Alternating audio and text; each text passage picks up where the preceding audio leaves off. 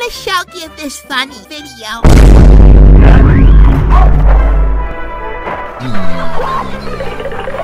Ah, that is a very unusual thing for a YouTube poop to say.